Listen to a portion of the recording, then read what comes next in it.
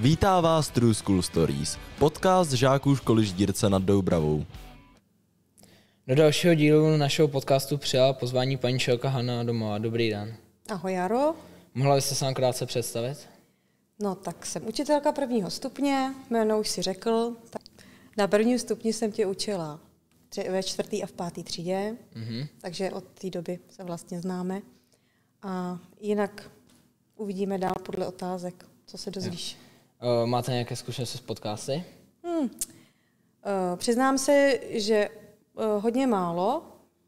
Na nějaký podcasty už jsem se dívala, spíš tak jako odbornější, co se mi tak hodí do mojí praxe, takže třeba něco z psychologie, z pedagogiky, ale určitě bych chtěla víc sledovat podcasty. Jo. Uh, jak se dostala do školy? Ze školy, rovnou ze školy do školy.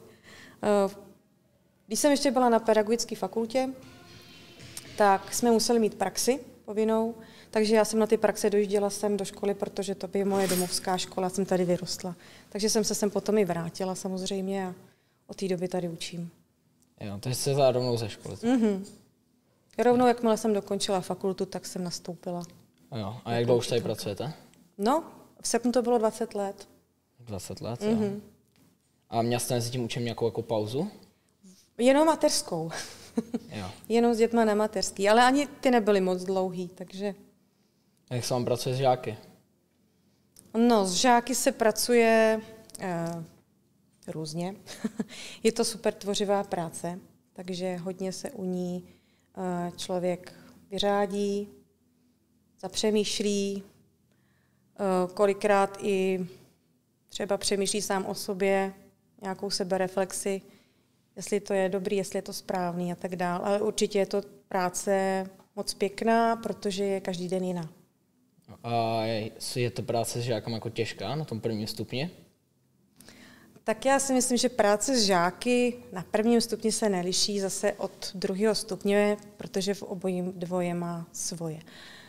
A na tom prvním stupni je to o těžký se to může zdát možná v tom, že vlastně jsme s nimi pořád s těmi dětmi od rána až do oběda, takže s nimi, s nimi vlastně trávíme většinu úplně dne, co oni si zažijí ve škole, ale takže o to je to intenzivnější práce. Jo. A učete všechny předměty? Mhm. A na prvním stupni všechny předměty většinou, kromě jazyku. Jazykově vybavená moc nejsem. Tedy jazyky tam učí už někdo jiný. Cizí jazyk učí někdo jiný. Jo. Jaký z těchto předmětů vás baví nejvíce?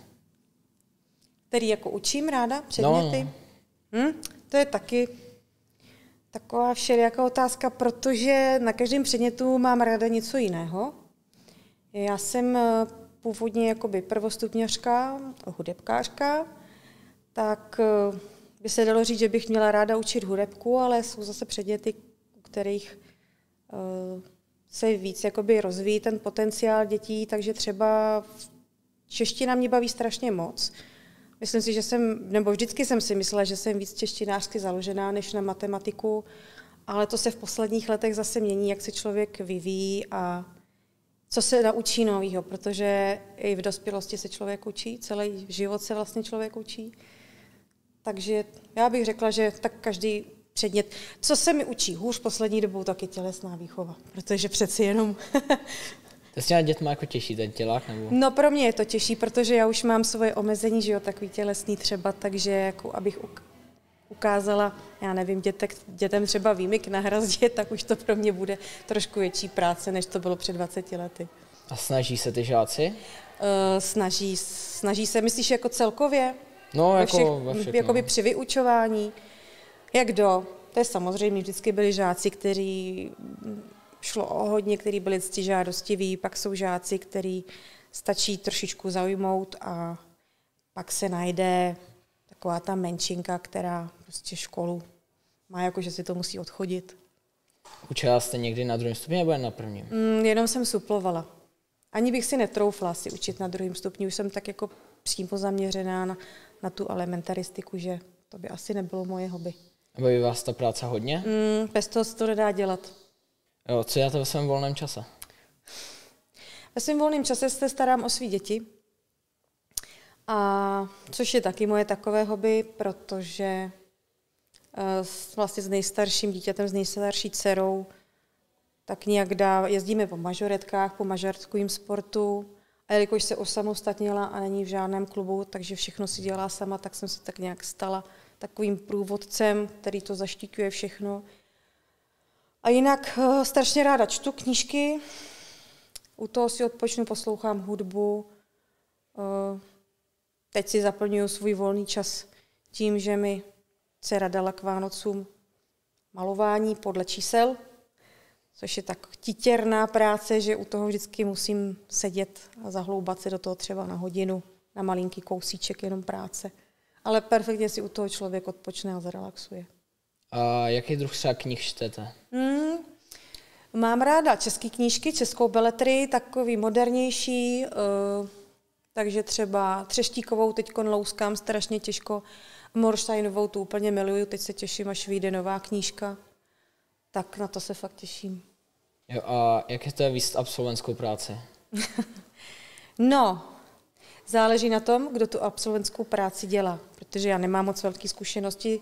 Jako prvostupňařka jsem vedla absolventskou práci jenom jedinkrát, a, takže my jakoby na první stupni nejsme jako učitelky moc oslovované, co se týká absolventských prací.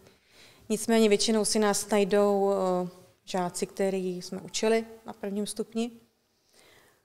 A teď mám já s tebou druhou práci ve svém životě. Je to trošku těžší v tom, že člověk nemá praxi, takže se snažím, aby to bylo co nejvíc odpovědně vypracované, abys, abys to měl všechno v pořádku. Děkujeme, že jsi nás udělal čas. Já taky moc děkuji, ráda.